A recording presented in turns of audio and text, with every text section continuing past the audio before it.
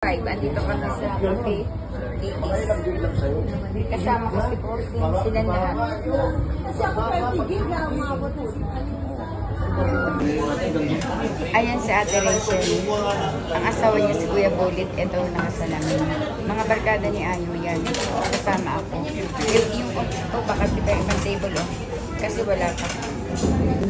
Oh, mozzarella. Paborito mo nung nandito ka. Cafe 80s. Ito yun. Cafe 80s.